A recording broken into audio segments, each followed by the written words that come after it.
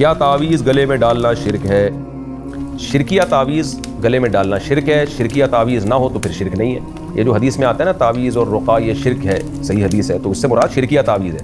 अब ज़ाहिर है किसी ने तावीज़ में या अल्लाह मदद लिख के गले में लटका दिया तो इसमें शिरक है? तो है तोहीद है, अल्लाह से मदद मांग रहा है वो। हाँ अलबत्त ये ज़रूर है कि तावीज़ गंडों को शरीयत में पसंद नहीं किया गया, इसको कमाल तवक्ल के ख़िलाफ़ समझा गया है। तो इसलिए इन चीज़ों से अवॉइड करना चाहिए। अतदाल की राह तावीज़ के बारे में यही है। बाज़ लोग क्या करते हैं? एक तरफ़ गुलू का शिकार है, हर वक्त तावीज़, फलीते, पलीते, उनके आपने देखा होगा, हर वक्त कहीं ना कहीं से कुछ निकल ही रहा होता है उनके पर्ची ज़रा ज़रा से कामों में बस तावीज़ गंडों में।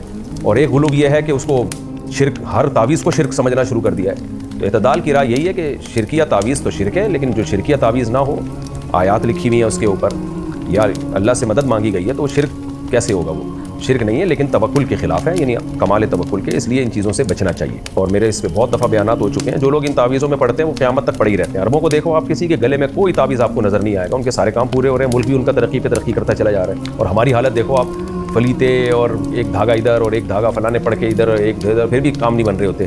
तो इसलिए इन चीज़ों से अपने आप को दूर रखें, दो रकत पढ़ के अल्लाह से दुआ मांगना सीखें। जब कोई मुश्किल हो, परेशानी हो इसबाब इख्तियार करें। जैसे बीमारी है तो इलाज और अल्लाह से दुआ। बेरोज़गारी है तो रोज़गार की तलाश और अल्लाह से दुआ है। जो इन चीज़ों पर आ जाए, अल्लाह उसके सारे काम बना देते हैं। और जो ताबीस घंटों में लग गया गया काम से।